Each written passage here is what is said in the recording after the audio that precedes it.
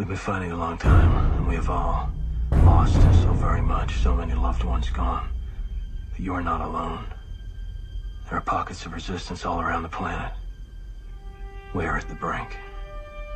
You have no idea how important you are. If you're listening to this, you are the resistance. Ave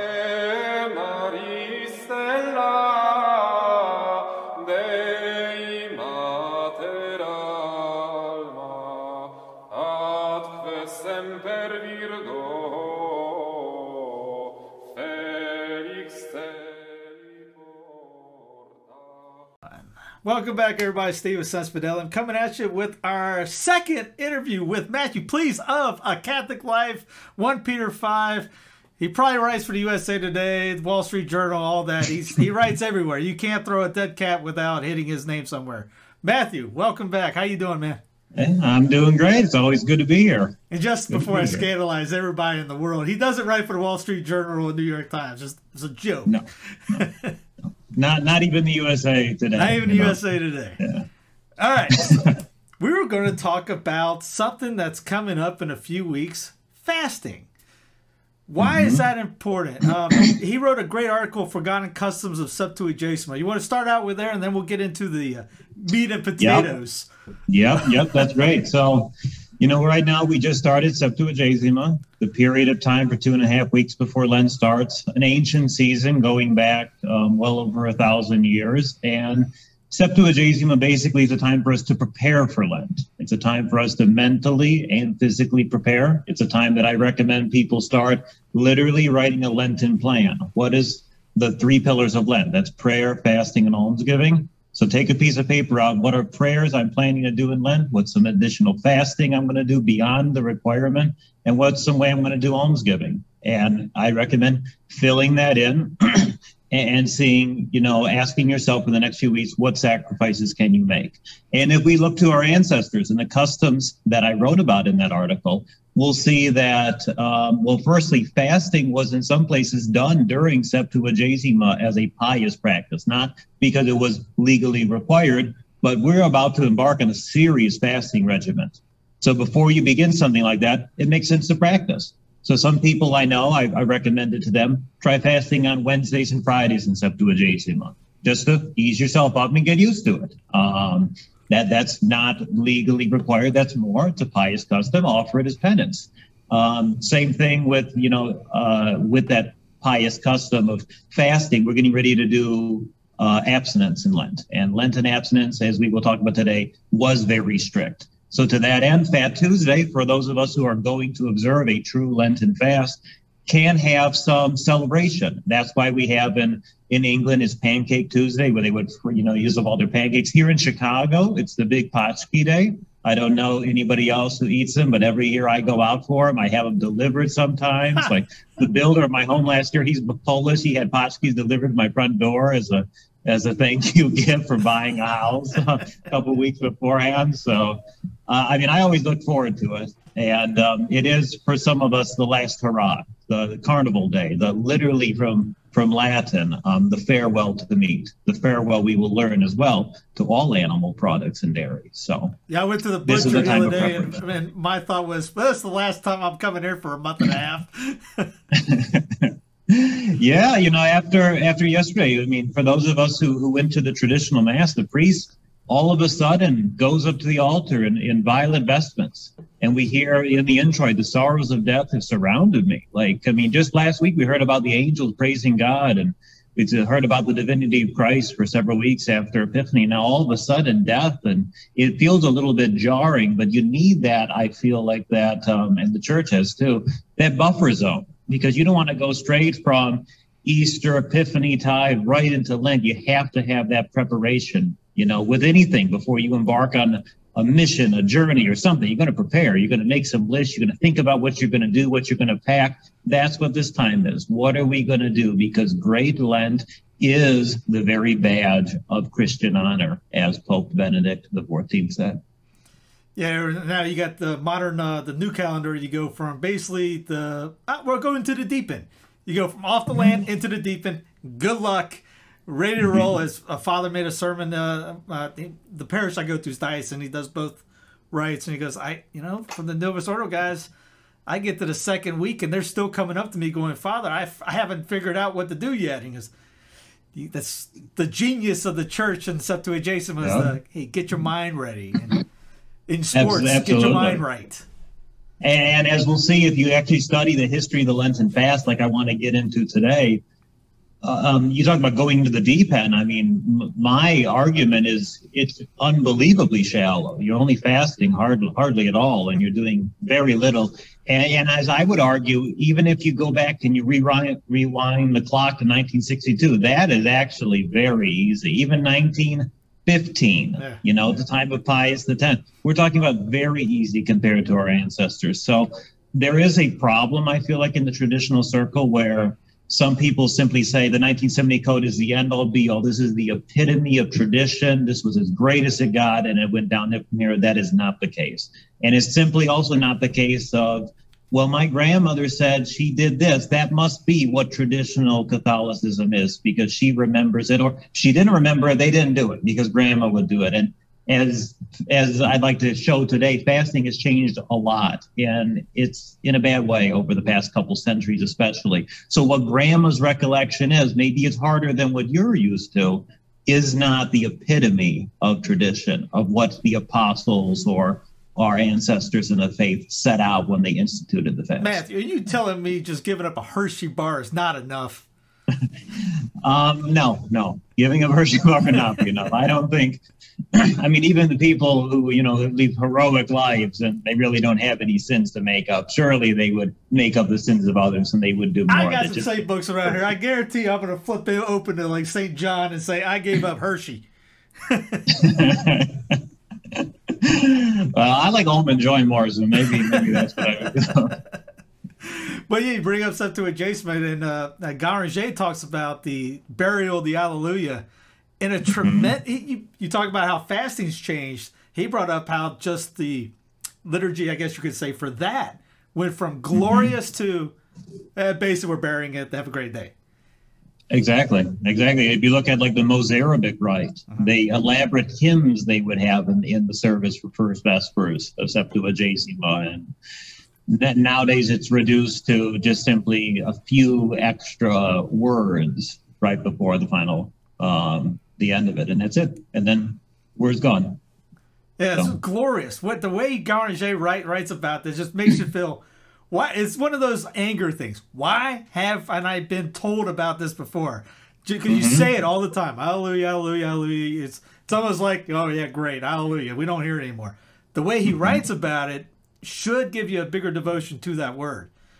Absolutely. And for those of us who say the divine office often. I mean, you're just so accustomed to it. I found myself this morning almost saying it. And then if you if you I mean you're like jawing like oh no I don't want to I don't want to say that I can't say that so it's just it's a little bit like oh I almost did something wrong and um, you know, there was a custom, at least in some monasteries, when they would say the divine office, whenever they would make a mistake, they would genuflect. Mm-hmm. And you see that sometimes. So if they say something wrong, they said the wrong antiphon, they said that word when they wouldn't, shouldn't have. And so you would see, especially younger monks, the novices, genuflecting often so much so that I know somebody was like, why do the monks genuflect so much during divine office?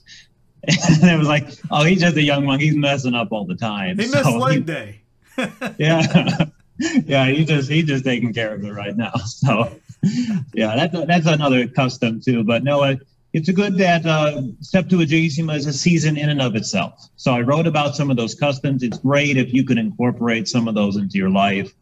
I mean, and just try to be present. Stop. I mean, look forward to Lent, prepare, but treat the season for what it is. It is a time to focus on, like this week, we're reading about Adam and Eve and, and the original sin. We're going to be reading about Noah. So read the Matins readings, reflect on sin, the consequences of sin, the whole reason why Christ had to be born, the whole reason we have concupiscence and the effects of original sin from death and disease and war and everything affecting us now is because of that. So understanding the why is very important. And I think that's a good transition into talking about Lenten fasting, the why, because we can get into a lot of specifics on here's the, the, history of fasting. And I think that's very important to tell because very, very few people know that and talk about that. But it's important to remember that the reason we fast goes back to the Garden of Eden because the, one of the first commands ever given to mankind was, you know, our first parents were told to fast from the fruit of the tree of knowledge of good and evil. Their first command was to fast. And we know they didn't. We know the first sin was pride, but the second sin was gluttony. The second sin of mankind was gluttony. So fasting helps repair what mankind has always been suffering from. And if we look at Elijah, if we look at Moses, if we look at the life of our Lord, all of them fasted. And the church fathers, um, the church and the catechism. I mean, the early fathers, everybody said that the purpose of fasting was to cleanse the soul, to do penance, subjecting the flesh, quenching lust, uh, kindling chastity, protecting against demons. All of those are reasons why we fast. We don't fast to lose weight. We don't fast to, um, you know, like St. Paul talked about yesterday, running the race. You know, like we don't fast because an athlete fasts because they want to get better at something. It's not that. It's not for vanity. It is a means to an end, not the end in and of itself. Like St. Leo the Great said, what we forego by fasting, we give to the poor. So it's also not a time to be like, I want to save some money. Let's eat more simply, and I can have a lot more money this month because the money you're saving from ideally eating much less and much simply should be part of your almsgiving. So that's important. I think the purpose, just make sure like you keep that in mind. That's the purpose. These are the goals and objectives, a means to that end to undo the sins of man. I remember, uh, I think my brother used to say it. I don't know if he got it from someone else, but it was fasting without prayer is just dieting. Mm-hmm. Yeah, I've heard that too. And it then you, you talk about this week since uh, Gueranger's reading. If you read that, you talk about why. It's not just reading it going, yeah, you know, she, you know, had the serpent talk to her and she ate the apple. He goes into it. They had one job. They were mm-hmm. nothing 10 minutes ago. He asked him not to do the simple text. She, he, she listens to this blasphemy, sacrilegious words, and she communicates with the thing. Yeah. It really gets digging deep, like how bad this was at the beginning. Mm-hmm.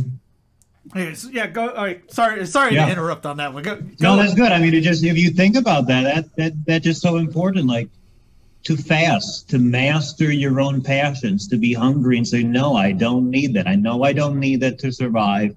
And I will suffer the consequences that I'm physically feeling, and I will offer it up for souls and a reparation for sin and people have been doing this for for thousands of years like by doing this this i think is so important to recover traditional fasting because our ancestors did this not only do we need to rediscover prayer and rediscover the mass and the liturgy we must rediscover fasting you can't simply say we have the the traditional mass we're fine and we don't fast at all and we don't observe practices no i i strongly believe fasting goes hand in hand with recovering true Catholic civilization. So that's a good point. It's not just the mass part, and we go into the smells and bells and hearing the language. Are you listening to the scriptures? Are you doing what they're saying? Are you doing the actual practices that involves everything else around? It? It's not just one thing; it's the whole king caboodle. Mm-hmm. Absolutely, it's everything. It's the theology. It's it's not just going to mass or the traditional mass. It has to be more. It has to embody your life. But like you, like yourself, you, you do the divine office. I preach. I'm pretty sure you sing the Marian antiphons at, at, at the end of the night uh, or before you go to bed. It's incorporates everything you do during the day is revolved around the liturgy. Even if you're not at the liturgy, you're doing mm-hmm. it in your daily life. Mm-hmm. Because because all time belongs to God. Uh-huh. He created time. Time belongs to Him. We simply sanctify time by participating in the liturgy that is occurring right now in heaven. Then that never ends, and thus there is no fasting in, in heaven. But we who are on our journey to hopefully get there, we have to fast. Our Lord required it. He said that when the bridegroom left, you you will fast then. And as we'll see, so if we start with a little bit of history of fasting, the the Lenten fast. So there's many different traditional fasts. We've talked about St. Martin's Lent. Mm-hmm. Um, there's the Assumption fast. There's the Apostles fast. There was the weekly fast on Wednesdays and Fridays, and in some places Saturdays. But when we talk about Lent, Great Lent, the greatest fast of the church, that was established by the apostles themselves. It's not often taught anymore, but it's affirmed by St. Jerome, St. Leo the Great, St. Cyril of Alexandria. If you look at some old catechisms, the Dom Gueranger as well says that the Lenten fast was established by the apostles. And it was primarily started as a means for catechumens to prepare for their baptism, and we know that. And the universal aspect of the fast, of all the baptized participating in it, really only occurred early on in Holy Week. So you have the catechumens preparing for their baptism, and the faithful would join them at Holy Week in, in the fast. And then it would terminate with the celebration of the Lord's resurrection. But that quickly turned into joining the catechumens for all the period of time leading up to, to Easter. And so by 339 AD, St. Athanasius said Lent is a 40 day fast that, quote, the whole world observed. So, of course, he means the whole Christian world. That's 339. And if we look at how the fast was observed, um, it was always one meal. So people always ask me, what is a true what is a true fast? Is that just bread and water? And I and I don't know why people always go to that. That is not what a true fast was. And um, although the definition of fasting has changed over time, the fast was generally one meal. It was not had until after sunset.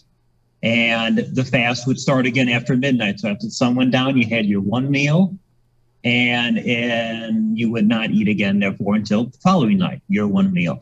That form lasted until the ninth century.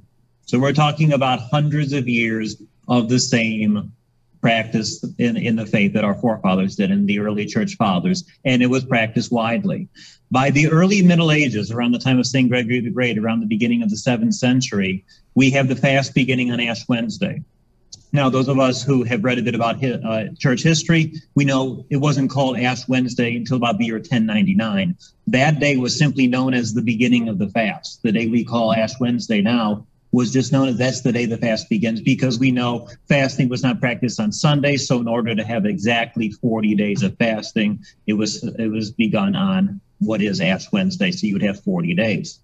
Now what form that took as well with abstinence, we, we have a written record of this. So around the year 604, we have documents that say, We abstain from flesh meat and from all things that come from flesh, as milk, cheese, and eggs.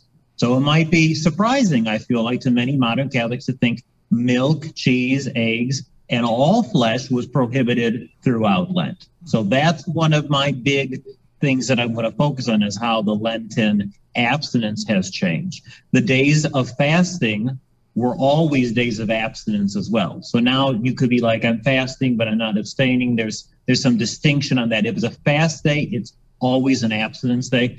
If it's an abstinence day throughout the year, it might not necessarily be a fast day. So something to keep in mind. There was a additional um, distinction for Holy Saturday, where the fasting was kept until midnight, until the beginning of the resurrection. And, and that, that was what it was practiced in the early Middle Ages. It was not really until around the year 817 we begin to see things change.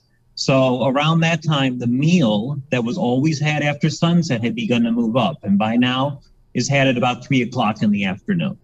And St. Thomas Aquinas mentions this too, how that was an appropriate time since our Lord died on the cross at three o'clock.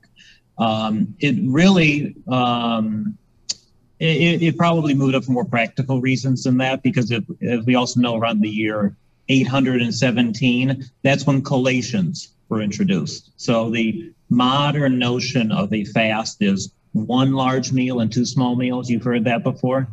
It's just horrible. It just I, that's the worst description. I'll never use that one again because yeah, meal has, is yeah, meal, yeah, exactly. what's large, what's small, what makes it a meal? Is it head of the table? Like how long does a meal last? I just don't like yeah. don't like that that expression at all. So I like to use more technicalities. Collation is what it was called. That was what you would have in the evening. And it was introduced because monks would be getting, they would be working in the fields despite it being Lent, and they would become very tired, exhausted by the end of the day. So they were allowed a small morsel of bread and a drink in the evening uh, on a fasting day, in addition to having eaten at three o'clock. and that's a collation. And it started for monks, but it became universal for all the faithful. So that started again around the beginning of the 800s. So at the time of St. Thomas Aquinas, around the High Middle Ages, we have a fast that is Monday through Saturdays. Food is eaten around three o'clock, and an evening collation is allowed. Of course, you don't have to have the collation, but it's allowed, and I'm sure most people did. No animal products are consumed during Lent. Abstinence remained on Sundays.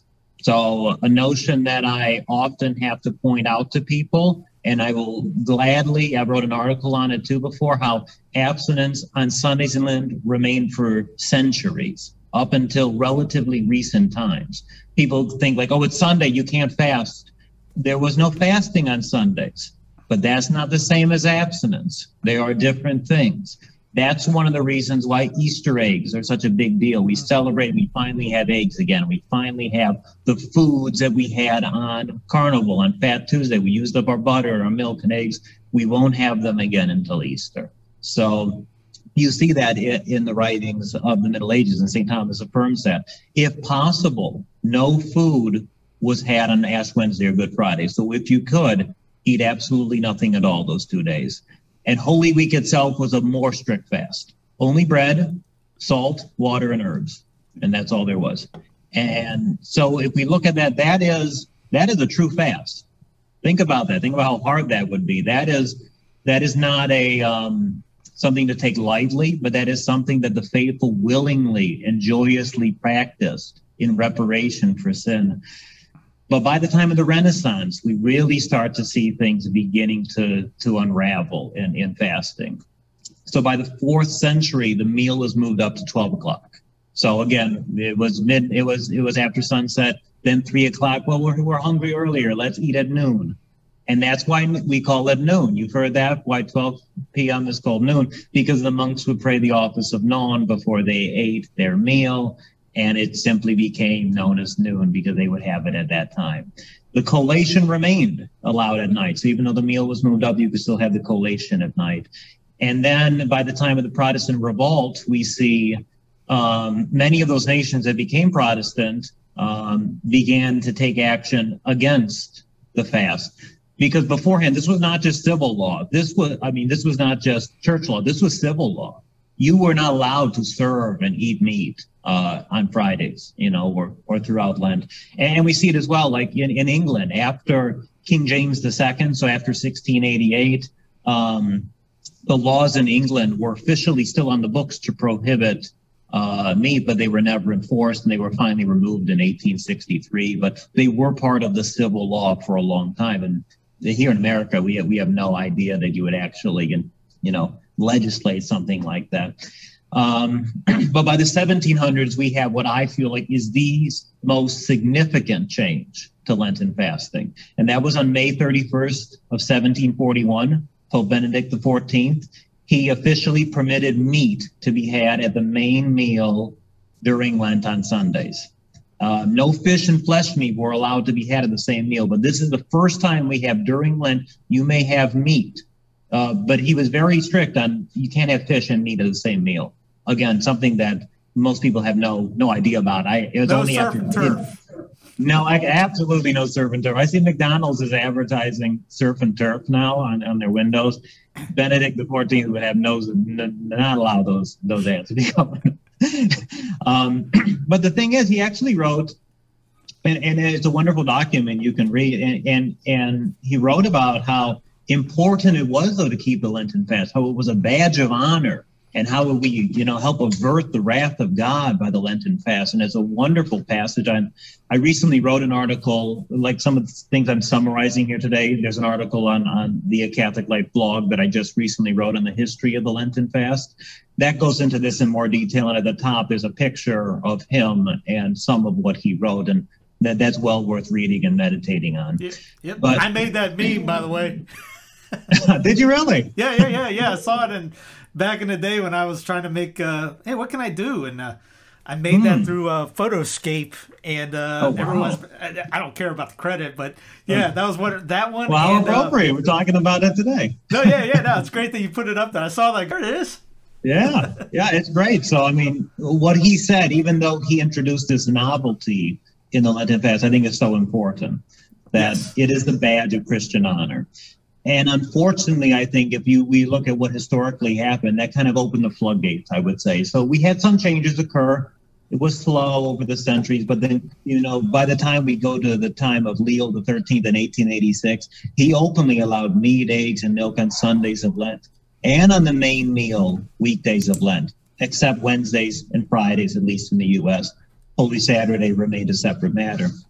He also introduced another novelty where a frustulum was allowed. The frustulum is what we would consider the other small meal, not a meal. It was a, frustulum. It was a small piece, basically, he said, of bread or coffee or tea or chocolate that, that you could have. So you can have your coffee, tea, chocolate, bread, something, something like that in the morning.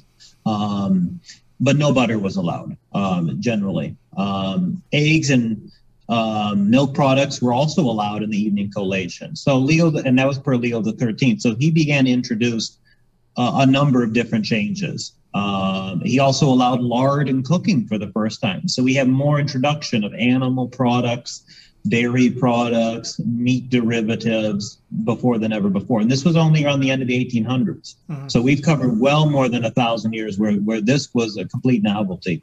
But by the time of 1884 and the Third Plenary Council of Baltimore, um, we could even read, and that article I, I wrote, it talks a little bit about it. There was actually ounce guidelines on fasting day, how many ounces your frustulum could be, how many ounces should your collation be. So did the thought of the meal being subjective it is actually not what the church had taught for a long time. There were guidelines. Um, we didn't talk about it but as a separate matter the fasting on christmas eve um, you would permit and had permitted for centuries a double collation because it was called the joyful fast. So if it's a double collation what's a regular collation? It's about eight ounces so the frustulum is about two ounces. The collation would be about eight ounces. Milk was allowed in the US at the collation, but not universally. Like in Ireland, it was not allowed. So if you look at and study fasting history and abstinence history, as I tried to do the past couple of years to try to get more and more people understanding what we had lost and to rediscover it, we see there were always regional distinctions. Um, but by the time of the end of the 1800s, like I'm talking about with Leo the 13th, we have more and more sort of exceptions and indults. We have the working men's privilege introduced in 1895, which applied to them and their families. And you could read the article about how the specifics of that. I won't get into that here. But basically, we come to a huge milestone in the road, and that was the 1917 Code of Canon Law. So people always put it up as that's the epitome of tradition, mm-hmm. and it's not because basically what it said, and I'm only going to talk about it in terms of the Lenten fast. It covers other fasts too, and that's beyond the scope in our time today. But uh, partial abstinence was practiced on Mondays through Thursdays. Full abstinence was practiced on Fridays and Saturdays. Sunday there was there was nothing. Um, eggs and milk products became universally permitted. That was the first time they became universally permitted during Lent. Um, but there still remain 40 fasting days. Mondays through Saturdays were fasting days.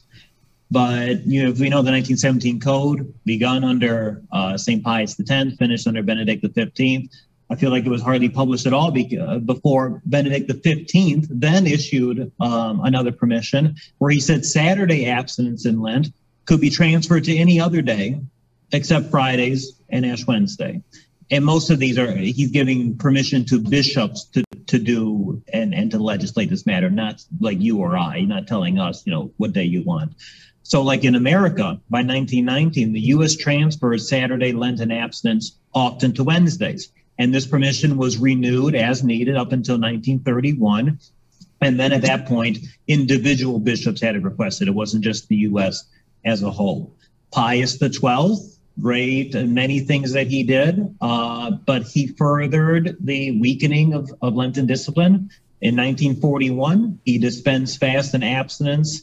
He said bishops may dispense fast and abstinence on any day except Ash Wednesday, Good Friday, the Vigil of the Assumption, and Christmas Eve, and Friday abstinence had to remain. And that in itself was a if a bishop chose to do that, that is a small remnant of the 1917 code, much less the days beforehand. And I haven't even talked about how the 1917 code reduced the number of holy days of obligation to more than 30 to eight. It was so low, they, they added two back right away afterwards. It was so bad. So, um, of course, bad is my opinion. I think it just weakened discipline, and Yeah. you can grant dispensation for people, but when you universally, as you'll see with Lent, universally to say, ah, it doesn't matter, nobody cares anymore. Yeah. And then in the last change, 1956, this is the last change before Vatican II. Um, Holy Saturday changes from a day of complete to partial abstinence. So then, what, what are we left with? So, if you're in 1962 and you want to observe the Lenten fast, you you know fast 40 days, but you you think milk and eggs are fine and you, partial abstinence is okay Mondays through Thursdays, and that's not what our forefathers did. That's not what was done for thousands of years. And your meal could be had anytime afternoon, when in fact, if we look at what Muslims do, fasting after sunset, I mean, the ones that, so the Lenten fast I try to observe and that I try to encourage rivals much of their fasting. And while they certainly, um, I definitely heard some before ridicule Catholics for our fasting, you know, when you fast two days a year and it's basically eat a meal and two small meals, it's not fasting. And complain about it. Yeah, yeah. So, but but when they see like a true Catholic fast, I mean, they're like, "Wow, that's hard. That's like a marathon. That's not the sun goes down and I'm partying and I can eat whatever I want, uh, anything and as much as I want until the sun goes up." No, I mean, the sun goes down. I eat a dish. It's primarily bread and vegetables and then I don't eat again until the following night. I may permit myself a you know a collation, but but that was it. So in my article at the very end, I give some recommendations for what I think if somebody wants to voluntarily take on a traditional Lenten fast using some of the principles that our ancestors and our forefathers observed. Um, I kind of outline that there, and it's very similar to what St. Thomas Aquinas uh, would have observed. Um, of course, it doesn't bind under sin. It doesn't mean that um, you know people who aren't doing it are wrong, but I mean I think it's something to aspire to. I did not do this strict of a fast for a while. I eased myself into it. Uh-huh. Eventually, as of a few years ago, I began the Holy Week part too of only bread, herbs, water, but I also added coffee, and that that was that was it. And then um, I look forward to it every year.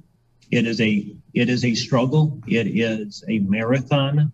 Um, I also run marathons. so Maybe that's why I like the comparison. But um, it, it is really it's a challenge. it is really something.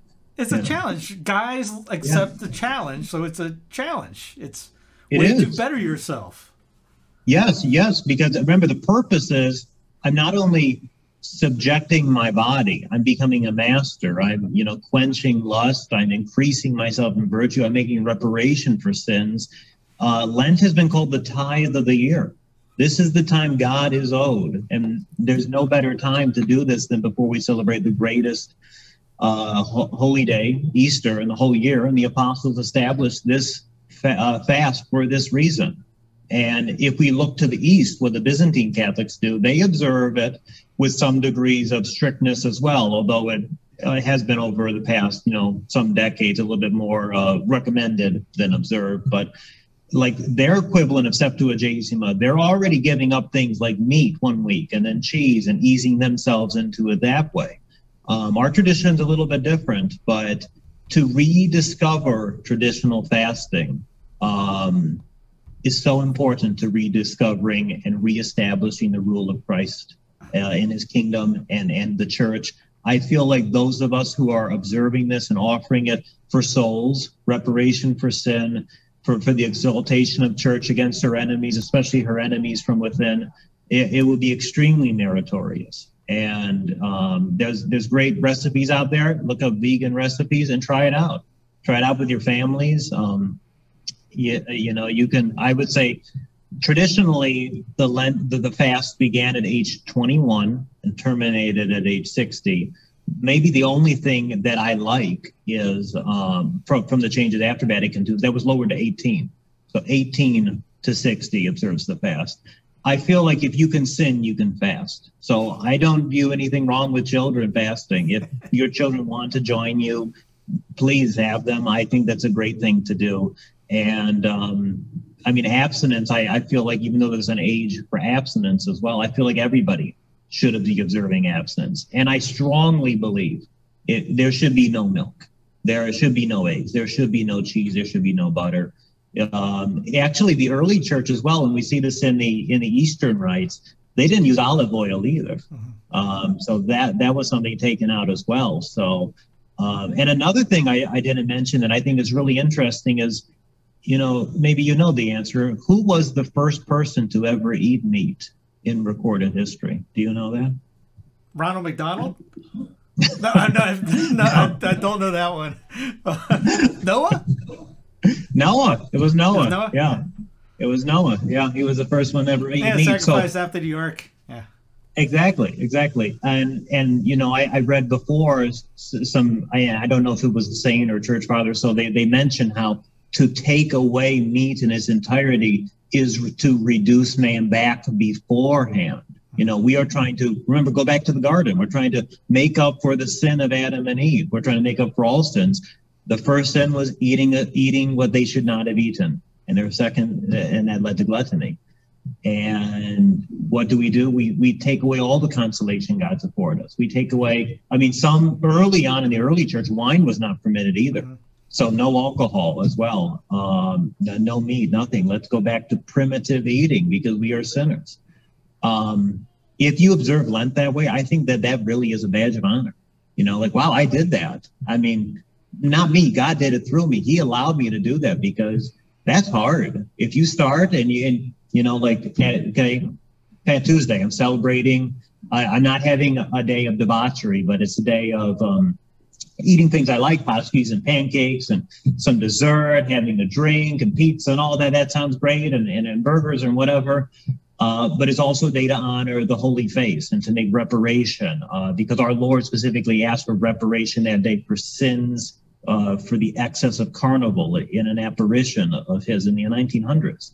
Um, so we should be doing that too. It's a day of prayer too. It's not just a day of celebration, but it is a last hurrah. It's the farewell to meat, it's carnival. And then all of a sudden, Ash Wednesday, you have ashes on your head. Ideally, eat nothing at all.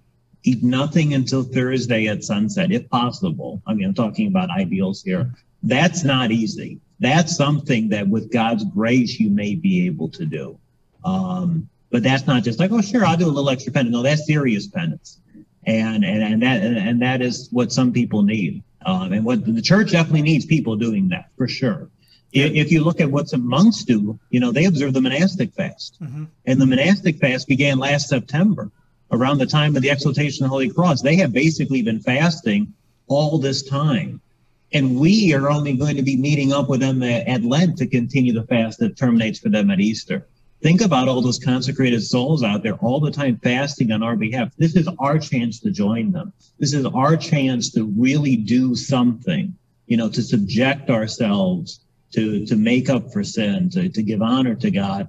Everybody knows the church needs it. Souls need it. The world is bad. Morality is falling apart fasting's purpose one of the one of the main ones is to quench lust and to bridle uh, the flesh i mean our world needs fasting so many people are i feel like very timid to recommend fasting or i don't want to i don't know your medical conditions i'm, I'm not going to recommend it or uh, i mean everybody knows what they can and cannot do so if somebody can do fasting i think they should and if you can observe the traditional way. Of course, the church doesn't require people who, you know, have severe diabetes or something like that to fast. It never has for medical conditions. I will say though that I have seen uh, in practice some people generally thought they weren't able to for health reasons, and it was actually just their diet. Their diet was so full of processed foods. They felt so bad when they didn't have the, the sugars, and to to break away from that and to cleanse themselves they they they felt better they realized they didn't have diabetes, they didn't have you know hyperglycemia or something. It just they had a bad diet, and Lent actually forced them out of that into a good diet, a diet back to bread and vegetables and and and not processed foods. So if you're thinking, I don't know this for me, it's hard, and you know if I don't even eat lunch, I get I, you know I, I feel ill. Remember, you can have water, water throughout the day. I, I know people in, in Europe who often complain about Americans, and for one reason or the other. But one of common complaint I hear is Americans just always eat. You feel something, you might be hungry, so you eat. They're like, drink water. You know, you don't need to eat that much. And you really don't. You realize that the body doesn't need that much food. Remember, our Lord did it. Our Lord was fully human. So did Moses. So did Elijah. It wasn't like just um, you know, making this up in the Middle Ages. This has been done for a long time. We have lay people for thousands of years observing this fast, uh, and they did so gladly. So, what That's can a- we do for That's a key one too. Gladly, joyfully. Don't be. Yes. You know they don't want you don't want your sad face. Oh, that guy looks like he's fasting. Be Yes. happy about it.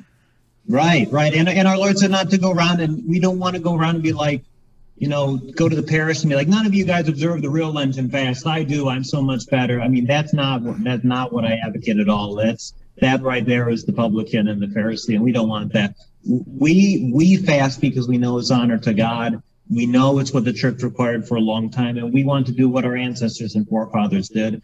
And we like to encourage others to do so too. Just like we encourage others to pray the rosary, we encourage others to give alms, to, to practice virtue. It, it doesn't mean we're being pharisaical. That's often thrown out, you know, by simply observing an older thing. That's not it at all. Um, we can and should encourage other people to do it. We should not pat ourselves on the back. And we have to remember, and and Lent is a great time for that, to pray often because fasting must be accompanied with prayer. So, as I talked about at the beginning, Septuagesima, what are the prayer, fasting, and almsgiving you're going to do during Lent? It's great to do these Lenten fasts and and with this strictness. But if your prayer column is is empty and your almsgiving column is empty, you're missing two legs of the three-legged stool. You need them all. You know, you it, it, it can you can't just focus on fasting. It's a diet. And and we also don't want to be uncharitable to others. We want to make sure that we restrain our emotions. That you know what what I often hear people say like, "What are you going to give up for Lent?" You hear it too. You know, the Hershey bar or, or whatever it is. What you give up for Lent? Yeah, yeah. But it's more than giving something up. And and and that aside, um, even even with this strict Lenten fast, plenty of people also gave up other things voluntarily too, despite how, how strict this was. Um, but it's more than giving something up. You got to replace it. You know, if you're not saying the rosary every day, that's a great one. Do Stations of the Cross on Fridays. Say more indulged prayers. I encourage people to uh, read uh, a book, spiritual reading during Lent. I think that was actually in the Rule of Saint Benedict. One of his recommendations during to Lent was a monk must read a spiritual book through. So you have 40 days to do that uh, visiting a cemetery, um, visiting um, people who are sick. There's so many ways we can be living out these acts of mercy. And if you look at the church's tradition, like on Holy Thursday, that was what the faithful were encouraged to do. They were encouraged to spend their days in, in pious activities and, and sharing with the poor throughout all of Lent, too. So if you're looking for um, things to do in prayer, there's so much there. Um, There's plenty going to to masses. Yeah, there's plenty to do. And same thing with almsgiving. I mean, Yeah. there are traditional Catholic orders that need our support. There are monks and nuns that depend on us. There are charities, you know, for the pro-life cause that depend on us. This is a great time of year to be like, I'm saving money because I'm not going out to restaurants. I, I'm eating less. That's where the funds are going to go. Not in my pocket. They're going to go to others who, who, you know, can use them. And at the same time, the Lenten fast as well um, necessitated like no parties. It doesn't matter if I eat or not. It would be inappropriate to throw a party. Yeah. I mean, you just there's certain things you just don't do. You don't go out, you know, on the town and do something. No, I have to wait till Lent's over. Lent is a fast of the mind as well, and the will. It is penance. And if I'm not just doing the Lenten fast, I'm also trying to force all these other things out. I have more time for prayer. I'm not eating as much. I'm, I'm not going out. People want to hang out and go out for drinks. I don't do that during Lent, you know. So I have plenty of time to say the whole rosary, all 15 decades. I have time to maybe go to an extra mass throughout the week or, or even every day, depending where you live. There's just so much to do. And I just really, really, really hope that people take Lent seriously because I always believed it really was the badge of Christian honor. Before um, I was Catholic because uh, my family became Catholic when I was in high school. The one thing that really drew me was Lent.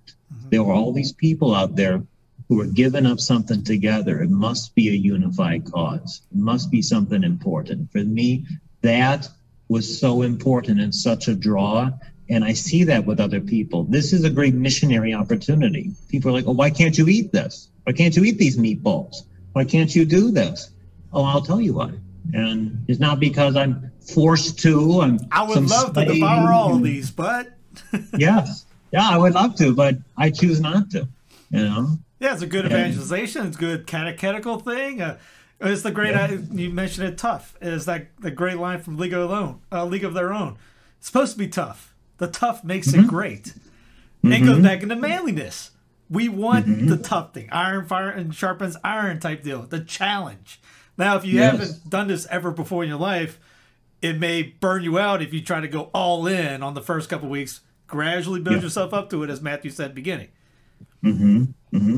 Yeah, it it is something that you should definitely take to prayer and think about what additional fasting can I do? And it is not giving up one thing or, or two things. What of these can you incorporate? Some people I know just uh, they'll, you know, maybe a way to ease in is no meat during Lent, fasting every day but Sundays. And that's a good way to ease in. I'm not going to do the, some people will be like, I'm not going to do the extra Holy Week fast of, of only bread, salt, herbs, not going to do that. My meal, I'll have it sometime in the evening, might not necessarily be after sunset. That's fine. There's ways to, to observe Lent um, without exact those specifications, but it, it, it, all goes back to the purpose, mm-hmm. you know, and we have the right reason. Are we really trying to do it to save souls and, and, and for our family? And, and, um, remember a great line by a priest. I'm sorry. I remember a great line by a priest saying, uh, you say you love God. Now it's time to prove it. Time to show it yeah. to him. Yes, now is the time. You know, we show him that how much we love him by keeping his commandments. Mm-hmm. And remember to observe the laws of fasting and abstinence is a precept of the church. It is a commandment. And um, in my role as um, as a writer for catechismclass.com, we have a course on the precepts. So basically, everything I talked about about the Lenten fast is actually only one part of one of the precepts. So I mean, there's so much out there on, on the precepts, but the course on that I offer on the precepts might be really good if somebody wants to go into this in more detail because we didn't have time to talk about the other fasts too. Um, I also put out this year a calendar that I, if somebody really wants to observe traditional fasting and abstinence throughout the whole year, not just Lent, I put out a calendar, and um, there are there are hundreds. I mean, there, there's definitely more than hundred days in the year for fasting. So uh, again, that might be like a goal, something I aspire to, um, not something you have to do, but it's something I think that people can do. I noticed you had made a good point about the uh, uh, processed foods and such. You know, secular people they talk about fasting all the time nowadays because of this. Mm-hmm.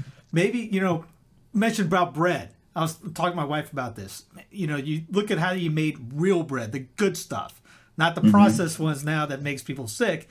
These guys mm-hmm. lift off good bread from the beginning. So maybe if we make our own bread, go get you a good old school uh, uh, cooking book on how to make some good real bread. Maybe that'll mm-hmm. help you out there in the Lent too if you try to do that option instead of like uh, sun whatever. You go yeah. to the local Bi-Lo and get the you know thin sliced. yeah, yeah, exactly. And if you really want to, there's there's ways to make bread without dairy products. Mm-hmm. So you want to make vegan bread, that's good. If people wanted, you know, sometimes people ask me what I often eat because I do aspire to this Lenten fast. I eat um, uh, Italian food, I feel like is very good for vegan, vegetarian, depending on, on the pasta and all. Um, plenty of vegetables. Um, Mediterranean food can be good. Indian food can be very good. That's often prepared uh, vegan. So that's kind of what I what I stay to. Um, but there's just nothing like waiting until you hear the message of the resurrection on Easter and finally going out for a sandwich. I was in Rome one year, uh, and I, after Mass, uh, uh, on Holy Saturday night uh, for um, at the FSSP Church. I went out and had a porchetta sandwich. First time I had meat in a long time, and it just the most special thing. And it, you don't really know how great it is until you're like, wow, I'm, I'm actually having meat. And it's kind of like, oh, am I should be having this? Like, kind of like, you know, praying hallelujah during, you know, Septuagesima. Like, yeah. oh no, I messed up. Oh, did I eat something wrong? And put, a, put a 20, like put I, a 20 around the side and just look at it and say, that's for after Easter. I'm getting me a steak. yeah. Mean, there's some years like, Wendy's is open late. I would stop at Wendy's Easter very, very late and get a sandwich. You know, first time I had meat in a long time. There's something special about and and you feel so thankful. Like thank you, God, for providing us, you know, this. And I, I've really, you know, had the chance to wean off of so much and flavors taste better. And if you talked a little bit about, you know, people in the secular world talking about the benefits of fasting, and and there are many. I mean, I've read about uh, mental benefits for anxiety or depression by, by fasting. If you look up the benefits of intermittent fasting, mm-hmm. there are many. And if you look up abstinence as well, like it takes the liver roughly 40 days to cleanse itself.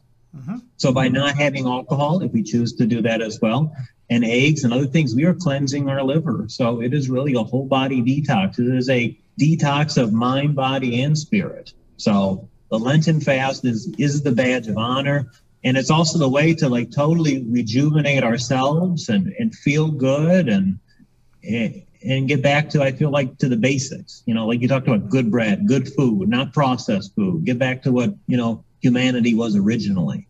Yes, yes. Break the habit of all that and get get some good stuff in your body. And exactly. We'll put a podcast out later on about the penance because I'm gonna mm. we're gonna try to do put together the uh, night nocturnal adoration at the home during Lent. Mm. You can't okay, get to adoration at your chap at your parish. Do the Father Mateo idea of at, at the home for all of Lent, along with all the fasting during it. You got the you got the P and the F already done. Now you just got to work on the almsgiving. mm-hmm. Mm-hmm. Yeah. I mean, I, I, I wrote an article on like um, 20 or more different traditional Catholic charities to donate to. I mean, you can Google online great almsgiving places. Another way too is like I wrote an article on five alternatives for coffee from Starbucks, Catholic coffee places. So, I mean, even though you're getting something, you're supporting the monastery. So there are there are you know you might look at like jams or or biscuits or like one of my favorite is biscotti that comes from monastery that I love. I got to order some more later today. So there's like things that we can be buying and why not buy it from religious orders you know? And, and coffee is a great one. I and there's over five i can i can think of that that offer that. So it goes to a good cause too. So our almsgiving doesn't necessarily always have to be giving to the poor. Even though that is true almsgiving in itself we can give to the church we can give to pro-life causes but we can also support um, monks and nuns and, and other orders that they need the support. So you can hand them money, but you can also support their operation too. So just something I think people can keep in mind, as well as you know donating items. It's a great time of year that I you know with spring cleaning to take things out of your home to box them up to give them uh, i like to give them to the st vincent de paul society here because at least that has a catholic name to it as opposed to a secular place or a commercial place so um, i think about there were some people that i heard about a long time ago um, and they said that you know they would tell a story about they were very poor they had a child. And um, nobody would give them any money. There was no assistance their family wasn't helping them and they didn't have anywhere to turn. And they said that the one place that they went to they gave them some money for food was catholic charities. And this was back in the 80s mm-hmm. and they they were not catholic but they became catholic after that. Because they said the catholics were the only people who cared about them Everybody else, family or so, said, not my problem. We didn't tell you to have a child. You figure it out. I don't care about your employment situation. Catholic Charities gave them money. So the apostolic outreach, the mission we can do by supporting Catholic organizations. Like, for instance, you know, the Salvation Army is not Catholic. It is a Protestant denomination. I would never donate a dollar to them. You should not be donating a dollar to them. There are Catholic alternatives. And of course, there's better charities than others. We know that for how well they affirm the Catholic faith and its fullness and its tradition. But at least if it's a Catholic name, that's going to do more than a non-Catholic name. So just something to keep in mind. There's there's plenty of time Septuagesima to think about it, to pray about it. But I just hope I leave people with the idea that the Lenten fast that the average Catholic observes and, and Lenten abstinence is such a small, minuscule remnant of what our forefathers joyously did as the tithes of the year. And if we can come up with just a small army observing that fast for the glory of God, I have no doubt that it's going to be immensely useful for souls.